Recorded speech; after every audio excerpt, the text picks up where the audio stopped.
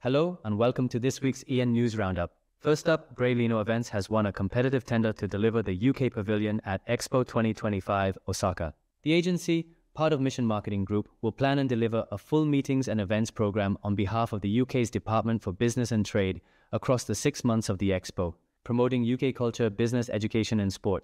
Mentorship program Elevate has launched a free three month program for industry newcomers seeking part time work experience, training, and mentoring aimed at providing equal access to the events industry for underrepresented talent, aged 18 to 25. Elevate's New Gen initiative was launched at the UK Creative Festival in Margate.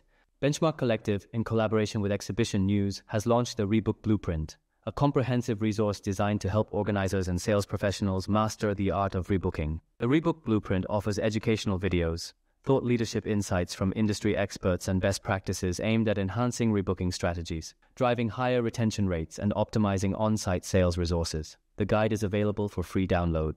Excel London has appointed Diana Fredrickson, Declan Cassidy, and Cornelia Kaczynska to its conference and events team in response to what it says is growing client demand. Bringing more than 35 years MICE industry experience between them, Fredrickson joins the venue as head of business development whilst Cassidy becomes head of sales development and Kaczynska as account executive. The three will also focus on the venue's forthcoming 25,000 square meter expansion opening later this year. That's all for today. Check back next week for the latest and greatest.